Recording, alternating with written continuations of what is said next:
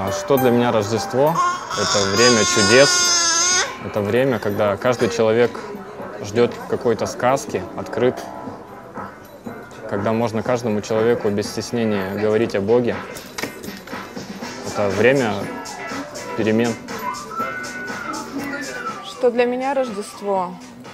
Это время, когда каждый человек становится немножко добрее.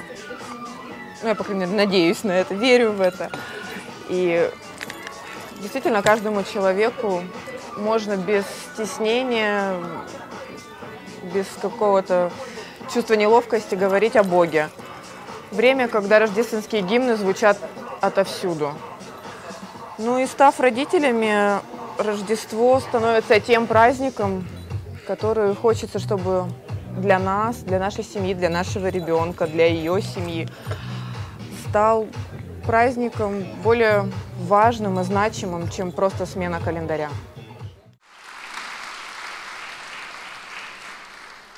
В Луки во второй главе э, евангелист рассказывает следующую историю. В той стране были на поле пастухи, которые содержали ночную стражу у стада своего. Вдруг предстал им ангел Господень, и слава Господня осияла их, и убоялись страхом великим. И сказал им ангел, «Не бойтесь, я возвещаю вам великую радость, которая будет всем людям. Ибо ныне родился вам в городе Давидовом Спаситель, который есть Христос Господь. И вот вам знак. Вы найдете младенца в пеленах, лежащего в яслях. И внезапно явилось с ангелом многочисленное воинство небесное, славящее Бога и взывающее. Слава Вышних Бога, и на земле мир, в человеках благословение. Когда ангелы отошли от них на небо, пастухи сказали друг другу, Пойдем в Вифлеем и посмотрим, что там случилось, о чем возвестил нам Господь. И, поспешив, пришли и нашли Марию и Иосифа и младенца, лежащего в яслях. Нам не дано увидеть нашими реальными глазами младенца Христа, как пастухи в свое время могли увидеть. Но мы можем увидеть Спасителя глазами нашей веры, веры в Его рождение и в Его святое Слово. А, свеча пастухов символизирует веру людей Э, в рождение Господа в сердцах людей через Святое Слово. Увидев же Марию, Иосифа и младенца, пастухи рассказали о том, что было возвещено им о младенце сем. И все услышавшие дивились тому, что рассказывали им пастухи. А Мария сохраняла все слова сии, слагая в сердце своем. И возвратились пастухи, славя и хваля Бога за все то, что слышали и видели, как им сказано было встретившись со Спасителем, пастухи ничего не скрыли, ничего не умолчали.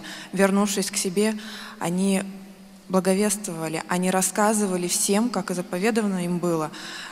Что еще более э, может быть значимо для нас сейчас, чем в канун Рождества свидетельствовать о рождении Христа, свидетельствовать э, каждому человеку, которого мы можем встретить в это время.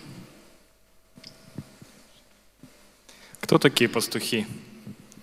Это простые работяги, пролетарии, а, которые были на работе, на поле и содержали, содержали ночную стражу у стада своего. Но именно они первыми узнают весть о рождении Спасителя. Иисус рожден в мир для каждого из нас, и социальный статус и наше материальное положение не имеют для Него никакого значения – Ему важно состояние нашего сердца. Давайте все встанем и помолимся.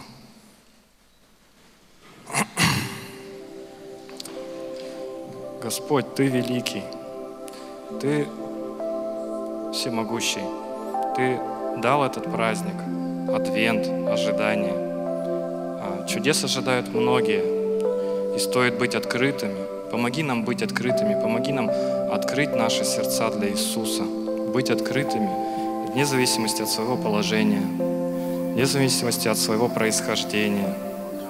Помоги нам благовествовать не только в это время. Помоги нам каждым своим поступком, каждым своим делом говорить о Тебе, этому миру.